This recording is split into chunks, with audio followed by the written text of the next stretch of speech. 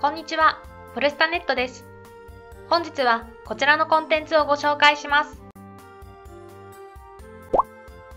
教材や教具、黒板の周りには授業で使う様々なものを置きます。子どもたちが集中して学習に取り組めるよう、すっきりとさせておきたい場所でもありますが、普段からよく使うものはすぐ出せる場所に置いておきたいと、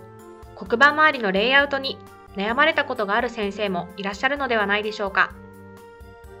今回は黒板周りをすっきりとさせておく2つの実践を詳しく見ていきましょう。授業中、黒板に貼るためのマグネット教材や、さっと書き込むためのマジックペンを用意している先生も多いかと思います。様々なグッズを用意すればするほど、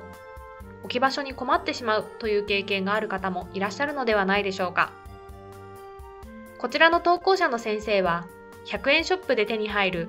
ウォールポケットをこのように活用しているそうです。黒板の横に写真のように用意し、子供たちも手に取りやすい位置に置いておくことで、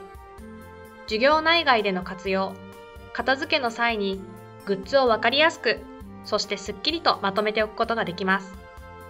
ちなみにこちらのポケットは安定して設置するためにも、投稿者の先生は紐をかけておくのではなく、画鋲でしっかりと固定をしているそうです。もう一つは教卓周りの一工夫。教室の前の方に先生用の棚があるという方も多くいらっしゃるかと思います。教科書や指導書、教材や文房具など必要なものを置くとなると、きれいに整理していても見た目が気になることも。そこで投稿者の先生は写真のように前にある棚にのれんをつけているそうです。のれんはサイズに合わせて切ることができる素材も多く、カーテンよりも調整、設置が便利だそうです。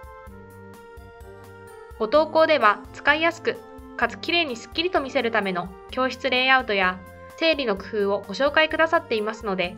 ぜひ参考にしてみてください。